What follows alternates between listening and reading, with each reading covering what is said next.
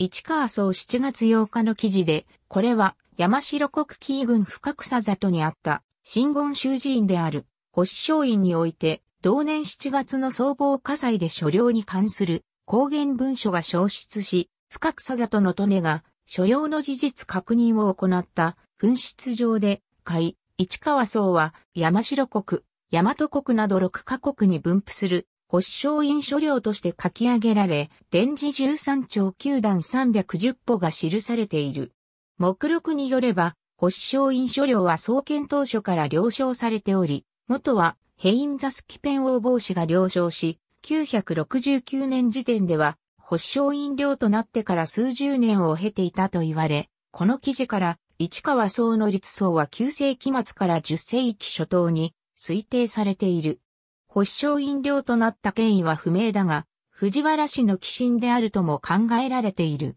網野義彦は東国において珍しい領域支配を特徴とする12世紀以降の中世、荘園とは異なる免除量を多勢に基づく免田型荘園と指摘している。目録には、小殿の上立簿付けが記載されているが、市川荘の小殿は国中三軍に散在し、駒軍11丁三段余りを中心に、山梨軍2丁5余段、八代軍1丁7段余りとなっており、11世紀代に甲府盆地で上理地割が存在していたことが確認されている。市川小殿は上理性思考区域に小殿が散在的に分布している遠隔地小園で、網野義彦は市川小殿の存在形態について、東国においては類例の少ない10世紀以来の免除量多勢に基づく免打型荘園であり、中世荘園とは性格が異なる点を指摘している。また、秋山隆は、目録において書き上げられているのは免打のみで、保証印書量はこれ以外にも存在していた可能性を指摘しているが、一方でこれを10世紀以前荘園の特徴である、散在伝示の集積と解釈する見解もある。目録以降の文献資料には、市川荘の存在は見られず、その後の象徴は、初期市川荘の正確な小域は解明されていないが、中枢は、電磁の集中する駒群に存在したと考えられており、市川三里町域に推定されている。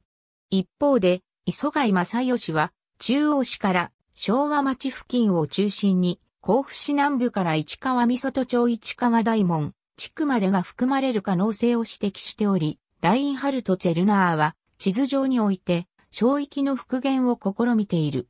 昭和町西条の乗清神社当初の在地領主は不明であるが、平安時代後期には陰の勢力が衰退し、大治5年には、日立国から源の乗清、清光親子が配慮され、市川荘を会員における勢力基盤としている。乗り気を祖とする海源氏は、その後甲府盆地の各地に進出し、自称、樹営の乱においても海、源氏の挙兵に従う武士の中にも、市川姓の人物が見られ、市川荘に関係すると考えられている。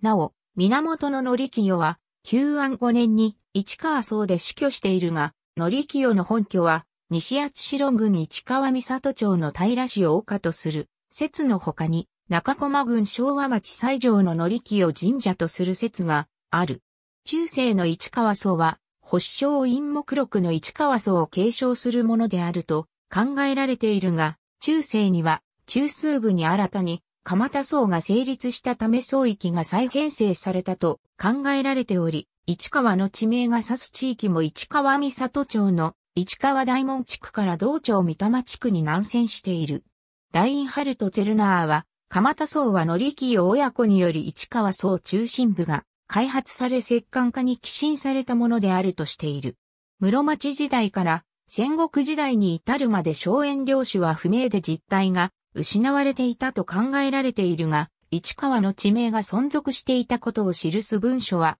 残されている。ありがとうございます。